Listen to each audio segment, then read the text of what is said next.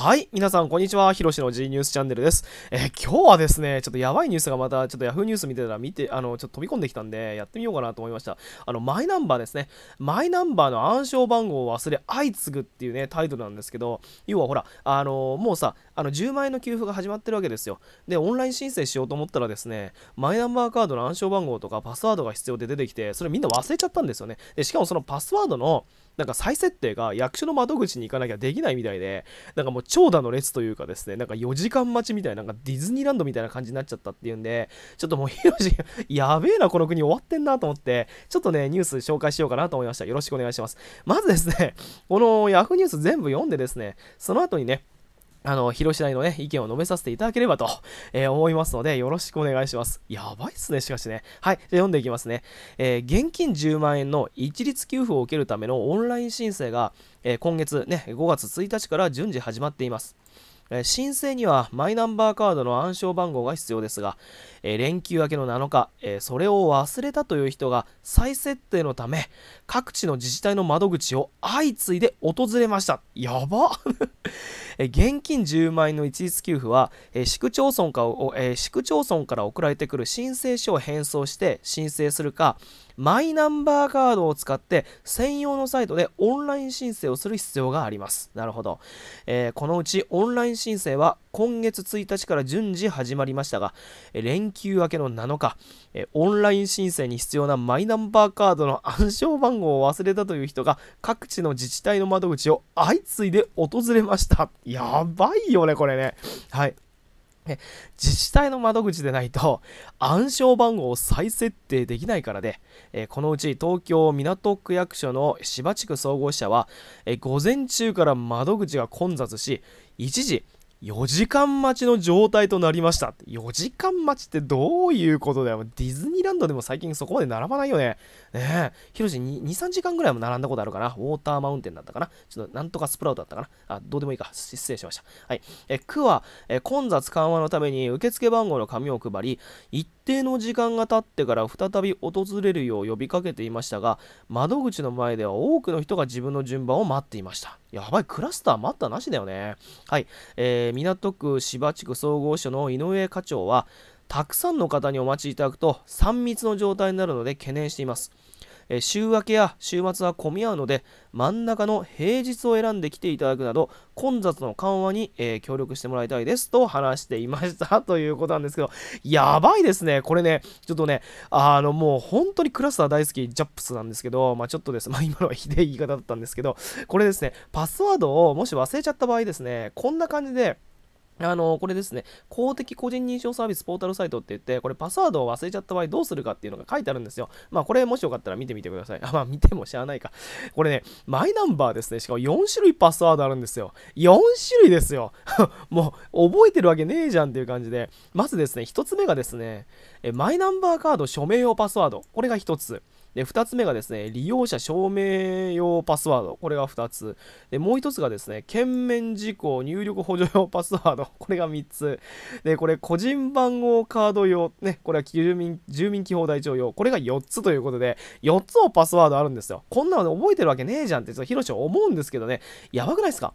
ね、あの、誰がこのシステム考えたんだよって感じですよね。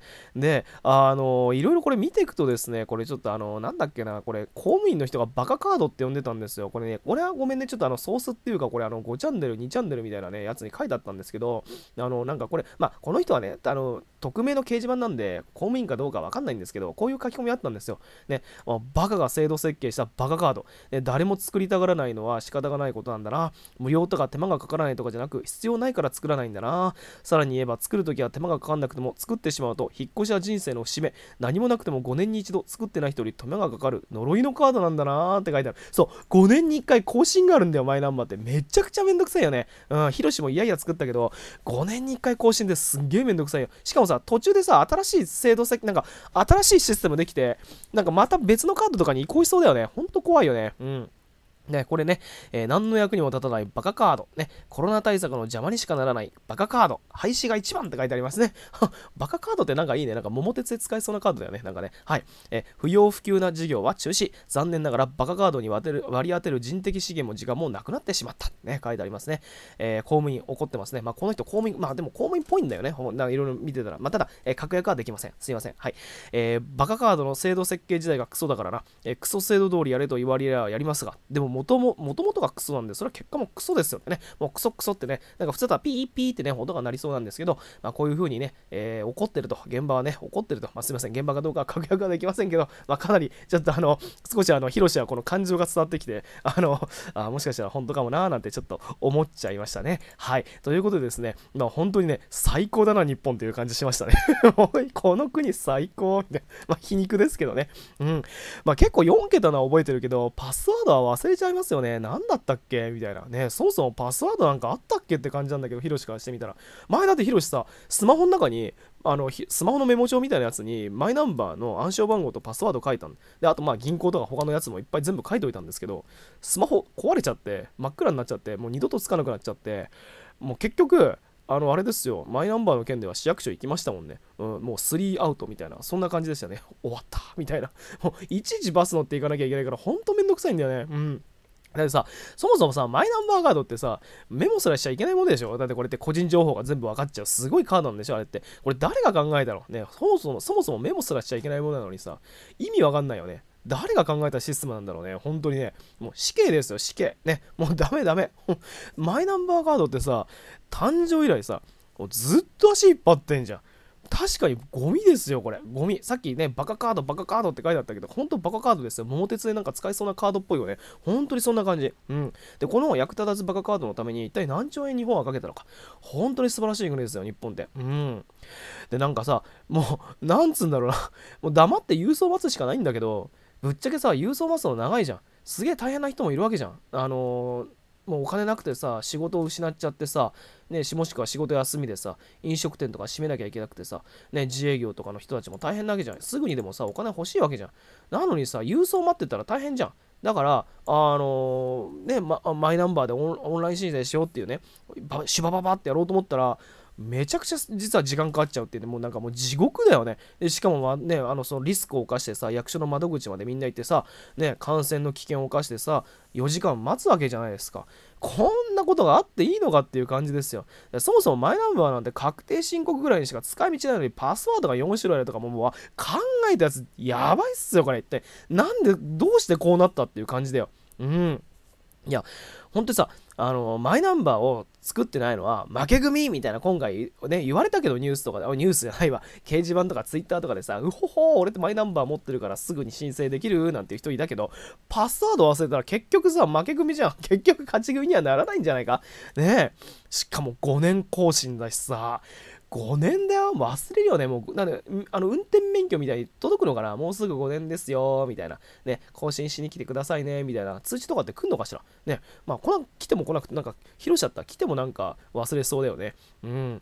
いやでもやばいよ。だってだってまあ確かに郵送が来るから待ってればいいんだけど今ヒロシの家にはですねまだねアベノマスク2枚すら届いてないんですよ。そんなねマスク2枚すら届いてないのに申請用のね書類が一体いつ届くのかって待ってたら半年1年経つんじゃないかって恐怖はすんごいヒロシは分かりますよ。うん、本当に来んのだから、あのー、政治の不信感もあると思いますので、今すぐにお金を使いたい。今すぐにやっぱり補填したい。ね、あのー、大変な、まあ、生活費に充てたいっていう人もいれば、ね、やっぱり今の政治は信用できないっていう人もいると思うんで、まあ、ちょっとここら辺はね、みんな急ぐ理由はね、否定できません。ね、なんだ4時間なんか待つんじゃない。ね、申請用のね、書類を待つがよろしいっていう意見もあるんだけど、あの正直信用できないっていう人も多いと思いますよ。うん、早くもらわなきゃっていう、あのそういう思いがある人は多いとは思います。うん。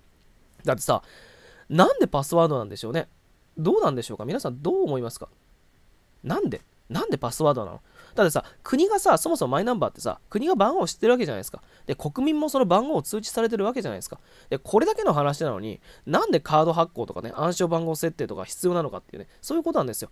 利便性を、なんかすごい便利なためにマイナンバー作ったのに、利便性を自ら低下させてるんですよね、これってね。だから正直、ヒロシはね、なんなんだこのカードっていつも確かに思っちゃいます。あの公務員のね、バカカード、バカカードってさっき書いてあったけど、本当にヒロシもそう思います。正直な話。はい。あの、ままあ一応ね、本人確認のために、2段階認証させたいのは分かりますよ。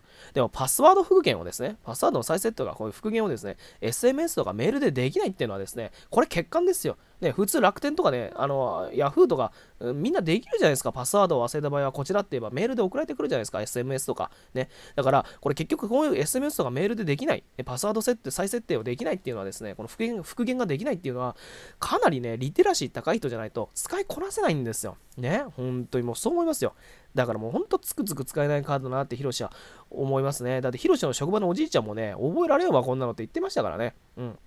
で、しかもさ、あのさ、そう、ヒロシの、あまあいや、これ言うと見バレになっちゃうんだけど、まあまあまあ、あこれはね、一応ツイッターに書いてあったことなんですけど、あの、ネットで申請しようとしたらね、なんかデバイスに対応していませんとか、なんか出てきてできなかったとかね、えー、そういう意見もありましたね。もう爆笑みたいな、そんな感じなんですけど、まあ、もうね、結果だらけ。ね、ああ、この国って本当いいな、みたいな感じでね、えー、思っちゃいましたね。はい。まあ、とりあえずですね、まあ今のは皮肉ですけどね、まあ、とりあえずですね、あの、もう、まあ、仕方ない、郵送で待つしかないですよ。あの、暗証番号とかさ、パスワードとかさ、まあ、でも役場にわざわざ行ってさ、何時間も待つってさ、大変ですよ。まあ、平日来ればもうちょっと空いてんのかもしれないけど、それでも多分1時間待ちとか普通にあると思うし、やっぱりまだまだね、コロスケの猛威はね、まあ、この前のテドロス君の話じゃないですけど、まあ、まだね、火は燃えてますので、ね、まあ、お前が言うなっていうね、その、なんだ、お前っていうのはそのテドロス君がね、まだまだ炎は燃え盛ってるってね、昨日なんかあの、放送したんですけど、まだまだね、えー、コロスケさんは油断ならないので、本当にちょっと3密は避けていただきたい。ね、だからまあちょっと、あの、郵送を待つしかないのかなと思いますね。でも本当このカードは欠陥品ですよ。皆様、皆さんが悪いんじゃないですからね、これはね。うん、このカードを作った人間が悪い。ね、採用した国が悪い。え、えー、広島はそう思います。はい。こう言うとね、また炎上するんだよな。はい。ということでね、今日はこのこのぐらいにしておきます。ありがとうございました。あの、もしですね、あの、チャンネル登録とかね、していただけると、あの、こういうネタをやっていく励みになりますので、えー、もしよかったら、えー、よろしくお願いします。で、今回この件に関してコメントだったらどんどん書いてくださいね。まあ、いつも言ってるんですけど、本当にね、この、まあ、これも一応パスワードを出演した時のリンクも貼っておきますけど、まあ、あの、結局役所に行かなきゃいけないのはね、変わりませんので、はい、あの、コメントあったらですね、皆さんバンバン、えー、書いてください。お待ちしております。ということで、今日はこのぐらいにしておきます。ありがとうございました。失礼いたします。